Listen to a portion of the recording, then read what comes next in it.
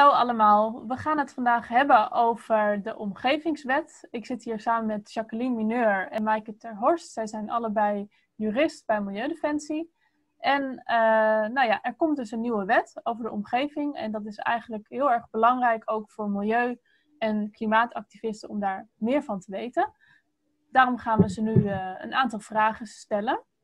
Mochten jullie naar aanleiding uh, van ja, deze webinar nog vragen hebben, dan uh, kunnen we dat altijd op een later moment nog inplannen. Uh, we beginnen met Jacqueline. Uh, Jacqueline, er komt een omgevingswet aan. En waarom is dat nou zo belangrijk voor milieu- en klimaatactivisten om daar meer van te weten? Nou, dat is echt ontzettend belangrijk, want via die wet kun je de wereld verbeteren. En dat wil natuurlijk iedereen. De omgevingswet regelt bijna alles over de inrichting van de omgeving, jouw, leefomgeving. Zo kun je dus ook dingen veranderen in de omgeving die je belangrijk vindt. Bijvoorbeeld een betere bescherming van natuur of van de luchtkwaliteit. Het is echt essentieel dat die nieuwe omgevingsregels helpen om grote problemen aan te pakken, zoals uh, de biodiversiteitscrisis, de stikstofcrisis en de klimaatcrisis. Terwijl er tegelijkertijd ook heel veel nieuwe woningen moeten worden bijgebouwd. En misschien ook wel bedrijventerreinen. Er zal echt heel veel discussie komen in de komende decennia over windmolens en zonneweiden. Maar ja, ook de weidevogels moeten worden beschermd. Wij kunnen als landelijke organisaties niet alles tegelijk overal in de gaten houden. En wij doen dan ook echt een beroep op jullie Jullie kunnen in je eigen gemeente en provincie aandringen op verbetering. En dat is hard nodig. Maar even iets meer over die omgevingswet. De omgevingswet die treedt op 1 januari 2022 in werking. Alle gemeentes zijn zich daarop aan het voorbereiden, want zij moeten allerlei plannen en vergunningen aanpassen. Dat geldt ook voor de provincie en het Rijk en ook het waterschap. Die wet betekent een heel andere manier van werken. Dat biedt kansen, maar ook bedreigingen. En vooral voor natuur en milieu hebben wij het idee. Als je nu iets nieuws wilt bouwen, zegt de gemeente, dat kan niet, tenzij je een vergunning hebt. Maar straks is het anders. Dan zegt het omgevingsplan, natuurlijk mag je iets nieuws bouwen. Je hebt er niet eens een vergunning voor nodig als je je aan de regels houdt. Dat heet uitnodigingsplanologie. Wil je toch iets anders dan in het plan staat, dan kun je zelfs nog een vergunning aanvragen om het toch te mogen doen. Wie weet werkt de gemeente dan toch mee. Dus dat plan biedt heel veel ruimte aan mensen die willen bouwen of uitbreiden. Nou, dat was ook de, precies de bedoeling van het kabinet. Want er moeten dus heel veel woningen worden bijgebouwd om de woningnood op te lossen. En het kabinet wil natuurlijk de economie stimuleren. Maar er is ook een biodiversiteitscrisis en een stikstofcrisis en een klimaatcrisis. En dat is net zo belangrijk of zelfs belangrijker. Je moet er dus op letten of al die nieuwe regels wel voldoende bescherming bieden. Zoals gezegd, dat kunnen wij als landelijke organisaties niet alleen. Daar hebben we jullie voor nodig. De kans is groot dat het omgevingsplan van de gemeente minder bescherming biedt aan mensen en milieu en de natuur dat plan dat moet zo zijn dat gevaar en schade en hinder zoveel mogelijk wordt voorkomen. Let daar alsjeblieft op als je kunt. We geven je concrete tips, niet alleen in deze webinar, maar ook in een handout. En we werken aan nog meer tools voor de website. Wat nog meer door de nieuwe wet uh, gaat veranderen, is dat overheden niet voor elk probleem een aparte oplossing bedenken, maar dat ze per gebied kijken hoe ze verschillende problemen in één keer gezamenlijk kunnen oplossen. Dat is de zogenaamde integrale benadering. Dat kan goed uitpakken, bijvoorbeeld door een fietsbrug te combineren met een ecoduct.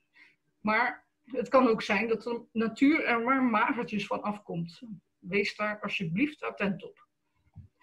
Er komen allerlei nieuwe instrumenten voor de gemeente, de provincie, het waterschap ook en het land. Er zijn bijvoorbeeld allerlei lange termijnplannen, de omgevingsvisies. En je hebt heel concrete plannen, het gemeentelijk omgevingsplan. Dat plan is voor lokale groepen en andere activisten heel belangrijk. De gemeente is de enige die zo'n plan kan vaststellen. Het is bindend voor iedereen. We gaan uh, in dit webinar vooral op het, op het uh, gemeentelijk omgevingsplan uh, in. Allerlei gemeenten zijn daar immers nu mee bezig. Maar eerst nog even wat over de provincies en over de omgevingsvisie. De provincie heeft geen omgevingsplan zoals de gemeente, maar die kan wel een omgevingsverordening vaststellen. En daarin kan de provincie wel dingen regelen die de gemeente in het omgevingsplan moet opnemen. Veel provincies hebben al zo'n omgevingsverordening vastgesteld en lopen dus eigenlijk vooruit op de omgevingswet. Maar je kunt altijd kijken of het beter kan. Hetzelfde geldt eigenlijk voor het Rijk. Ook het Rijk kan geen omgevingsplan vaststellen, maar wel hebben ze natuurlijk de omgevingswet vastgesteld. Met allerlei regelingen die daar aanhangen. Het BAL, dat is het uh, besluit activiteiten leefomgeving. Het BBL, besluit bouwwerken leefomgeving. Het BKL, besluit kwaliteit leefomgeving. En het omgevingsbesluit. En dan is er ook nog een omgevingsregeling. Het zijn prachtige afkortingen BAL en OB en OR. Dat onthoud dat maar. En in al die regelingen staan ook regels over het omgevingsplan. Over hoe de procedure loopt en hoe, wat erin moet staan. Heel belangrijk om uh, te weten. Ander onderwerp is de omgevingsvisie. Elke gemeente moet een visie opstellen voor de langere termijn. Net als de provincie en het Rijk. Dat zijn de NOVI, de POVI en de GOVI. Dus de nationale, de provinciale en de gemeentelijke omgevingsvisie. Wat willen we de komende decennia bereiken? Wat komt er op ons af? En hoe gaan we daarmee om? Dat soort vragen worden in die NOVI, POVI en GOVI beantwoord. Bijvoorbeeld klimaatverandering of de energietransitie. Dat gaat onze omgeving enorm veranderen en dat speelt op dit moment. Handig zo'n visie, want en dat is een middel om te toetsen of nieuwe projecten daar wel in passen in de langere termijn als je als gemeente hebt besloten dat je een groene gemeente wilt zijn, omdat dat het meest waardevolle kenmerk is van de gemeente, bijvoorbeeld Hilversum of Zeist, dan ga je geen vergunningen verlenen om in de bossen of de hei te bouwen. Op landelijk gebied speelt dit ook. De ontwerp Novi ligt bij het parlement ter bespreking. Het is interessant om eens te kijken wat erin staat. Kijk maar op uh, de nationale omgevingsvisie.nl. Laura is dat. Dankjewel. Oké, het is een hoop informatie. Um, je noemde ook al even de omgevingsplannen. Uh, zou je daar nog iets meer over kunnen vertellen? Want uh, naar mijn idee is dat eigenlijk het oude bestemmingsplan, wat nu wordt omgevormd en wat dan een omgevingsplan heet. Hoe zit dat precies en hoe kunnen mensen uh, ja, meer over die plannen lezen? Wat kunnen ze concreet doen? Ja, oké. Uh, klopt, uh, de bestemmingsplannen en de gemeentelijke verordeningen, die komen samen in één omgevingsplan voor het hele gebied. Dus de APV verdwijnt, de bestemmingsplannen verdwijnen, maar uh, het omgevingsplan komt daarvoor in de plaats. En in dat plan staan dus alle regels over het ruimtegebruik in je gemeente. Bijvoorbeeld, welke gebieden zijn bestemd voor woningbouw? Hoe hoog worden de flats? Hoeveel herrie mag een bedrijf maken? En wat is de luchtkwaliteit in je straat? Uh, mag je een boom kappen zonder vergunning? Of welke gebieden zijn beschermde natuurgebieden? Wat kun je met een omgevingsplan? Dat is natuurlijk een belangrijke vraag. Mhm. Je kunt via het omgevingsplan zorgen dat de natuur en het milieu beter worden beschermd. Dat er niet overal gebouwd mag worden, maar ook dat wijken van het gas afgaan. Uh, en nog veel meer. Een Milieudefensie streeft naar uh, verduurzaming van de maatschappij. En jullie vast ook, als waren jullie dit webinar niet aan het beluisteren. Nou, verduurzaming kan heel goed worden georganiseerd via het omgevingsplan. Zoals ik al zei, veel gemeenten zijn nu bezig om omgevingsplannen op te stellen. En omgevingsvisies voor de langere termijn. Ze hebben daarbij ook de belangrijke taak uit het klimaatakkoord om de energietransitie te realiseren. Ook moeten ze een warmtevisie opstellen. Nou, dat komt allemaal samen in het omgevingsplan. Gemeenten vragen aan de inwoners om mee te denken over hoe zij de toekomst van de gemeente zien. Maak daar gebruik van. Als de gemeente niet zo ambitieus is, spoor haar dan aan om de omgevingsvisie en het omgevingsplan te verbeteren. Dat is belangrijk voor natuur en milieu en voor jezelf uiteraard. Je kunt uh, ideeën inbrengen op inspraakavonden, digitale bijeenkomsten, raadsvergaderingen. Je kunt lobbyen, brieven in de krant zetten, acties voeren. Wat wil je veranderen? Wat wil je bereiken? Nou, er komt, uh, als je je mailadres doorgeeft, uh, een handout naar je toe met concrete tips over wat er in een omgevingsplan geregeld kan worden. Uh, op de website van Milieudefensie onder Bloemee en ook op het veranderaarsplatform komen tips en tools en er wordt nog hard aan gewerkt. En er zullen ook cursussen worden georganiseerd door allerlei natuur- en milieuorganisaties.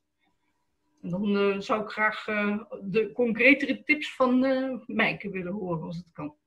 Oké, um, ja, graag zou ik nog wat tips willen geven. Um, nou ja, er zijn een aantal dingen die heel erg veel ruimte geven voor leuke plannen en ideeën. Het allereerste is de omgevingsvisie. daarin kun je, kan iedere afdeling, kun je je als afdeling heel erg profileren dus, dus, jouw project waar je al jaren mee bezig bent, kun je nog verder onder de aandacht brengen.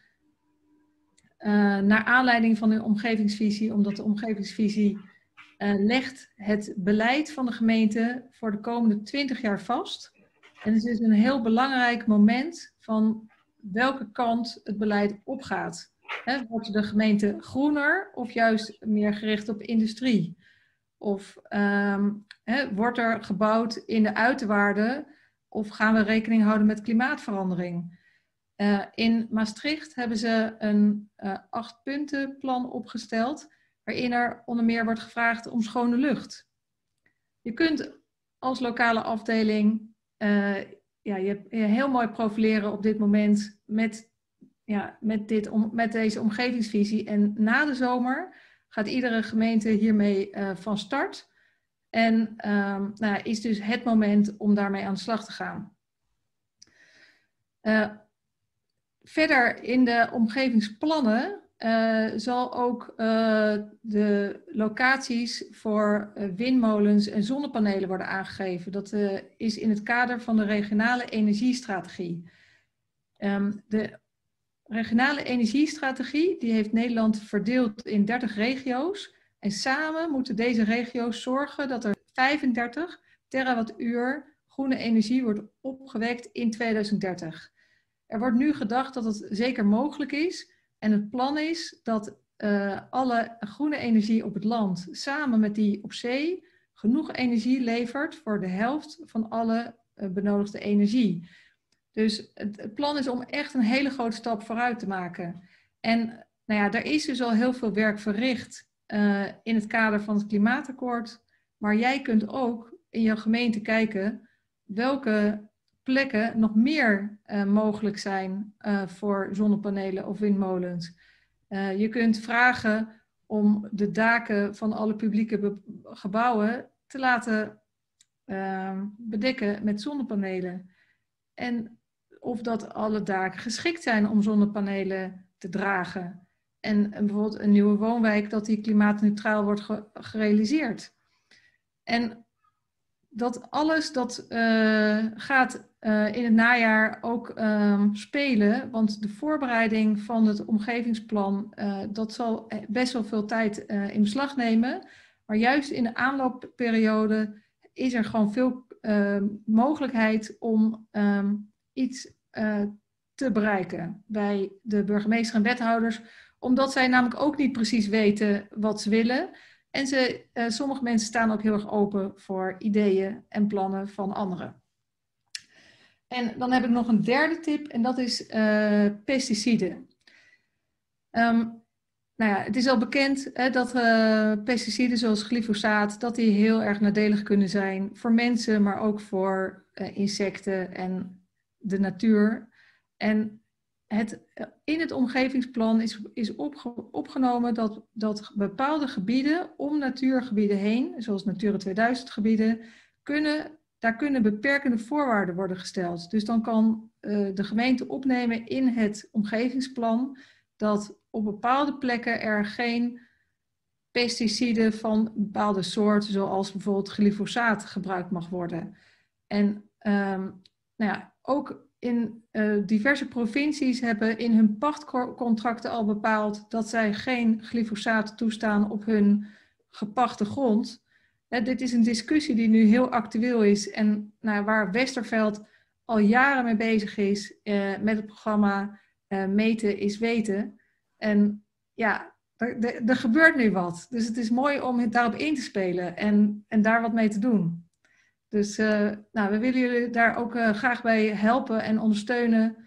En, want het, er ligt nu een mooie kans. En daar, dat is fantastisch om daar iets mee te gaan doen. En um, dus um, grijp hem.